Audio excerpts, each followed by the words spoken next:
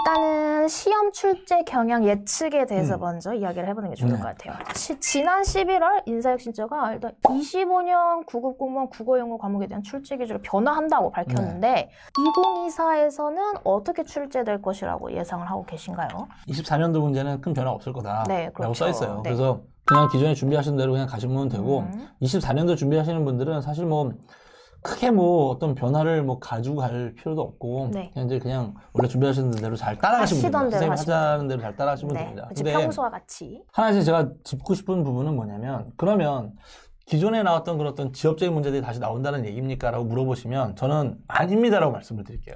2019년도 이후에 꾸준하게 지역적인 내용들을 배제해 왔었어요. 네. 그런 내용들은 다 반영이 돼서 왔던 음. 시험지였던 거고 25년도 시험지에서는 형식적으로 몇 가지 문제들을 바꿔보겠다. 음. 지나친 어떤 그런 내용들을 빼버리고 네. 이런 것들은 좀 수월하게 좀 더 수월하게 가겠다는 음. 그런 취지의 얘기입니다. 네. 그러니까 형식적으로 봤을 때는 우리가 기존에 준비하던 내용들을 그냥 믿고 가시면 되되 네. 그 공부의 내용에 있어서 그러면 아 올해까지는 지엽적인 내용 나온다는 얘기는 아니 지- 여지껏 지엽적인 게 안 나왔다고 안 나왔어요. 네. 안 나왔다고요.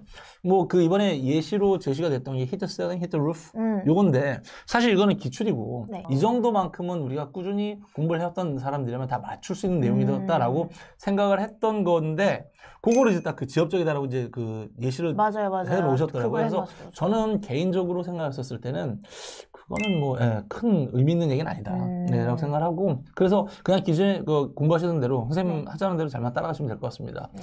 지역적인 거 배제라는 게 문법, 어휘, 독해 다 해당하는 거죠? 라고 말씀하셨는데 독해는 지역적이랄 게 별로 없죠. 네. 문법, 어휘, 생활 영어를 얘기하는 것 같아요. 작년에 이제 그 국가직에서 생활 영어가 이게 네. 참 미스가 났어요. 그렇죠. 그러니까 뭘 보면 아냐면 문법을 세 문제를 냈어요. 그렇죠. 문법 원래 네 문제가 나오던 걸 세. 문제를 냈었고 생활 영어를 세 문제를 냈었단 말이에요.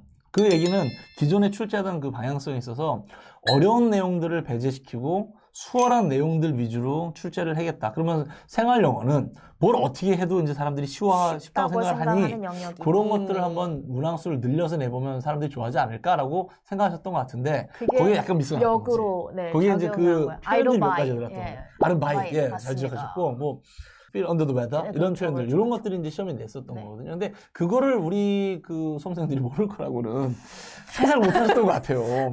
제가 봤었을 때 올해 국가직도 그 어, 이 형태로 나오지 않을까 싶고, 과연 그러면 이제 그 출제하시는 분들께서 네. 그분들의 상식이라는 게 음. 우리한테 얼마나 지식이 될까. 음. 그 우리의 지식과 그분들의 상식의 어떤 그 뭐랄까 그 교차점을 음. 찾기가 어려우니 그렇다면 역시 마찬가지로 선생님이 요만큼은 외워 가십시다라고 말씀을 드리면 그것만큼이라도 아, 그것만? 예, 해주시면 좋지 않겠나라고 생각을 하고